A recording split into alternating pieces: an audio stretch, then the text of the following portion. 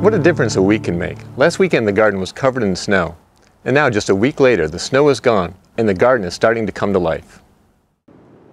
The six containers of cold weather greens I planted just last weekend have already started to sprout. The pak choi is doing particularly well. Some of the first crops to emerge every spring are the edible perennials. The protection offered by hoop houses and cold frames effectively moves garden beds one to one and a half zones to the south, allowing the perennials to emerge even sooner. French sorrel is already poking through the soil in this hoop house.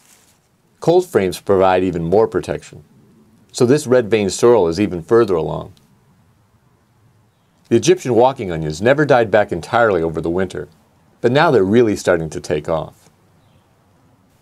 I know it might seem strange to be excited about dandelions, but dandelion greens are a staple of our salads. They're always one of the first plants to emerge in the spring, and we're happy to have them. We mulched the sunchoke bed with leaves in the fall and covered it with storm windows over the winter. This kept the soil from freezing and enabled us to harvest sunchokes most of the winter. It also kept the soil warm enough for this red wiggler to survive the cold. The red wigglers will help convert these leaves into nutrient-rich soil.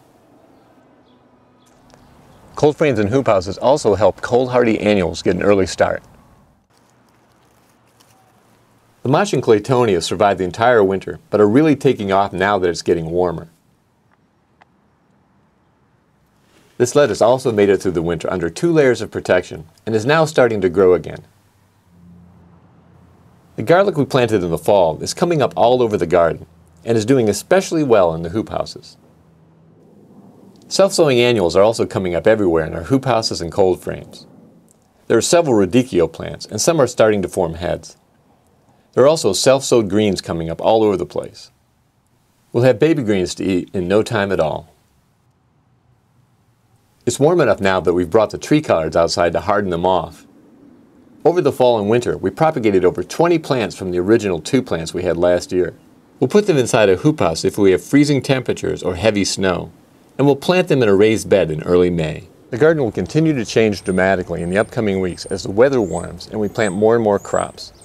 Some of the first seeds we sow every spring are sugar snap peas, which can be planted as soon as the soil is workable.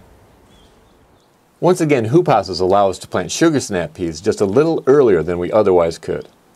Even if we get another heavy snow, these peas will be just fine under the protection of a hoop house.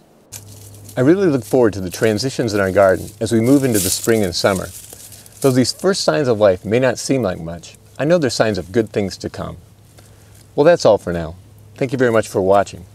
And until next time, remember, you can change the world one yard at a time. Ow.